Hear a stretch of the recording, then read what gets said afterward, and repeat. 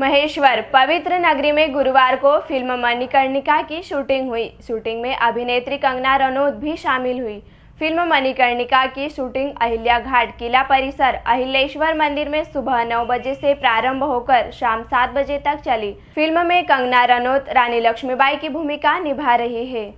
महेश्वर में फ़िल्म के गाने, सिलसिला यूँ ही चलना चाहिए, मैं रहूँ या ना रहूँ, भारत रहना चाहिए की शूटिंग की गई। फ़िल्म को फ़िल्म अभिनेत्री कंगना रनौत खुद ही डायरेक्ट कर रही है।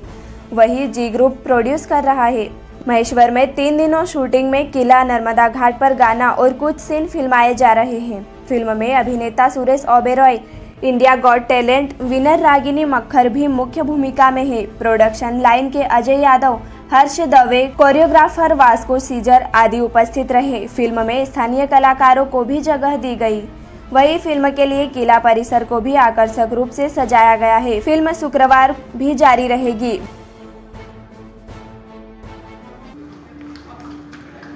हमको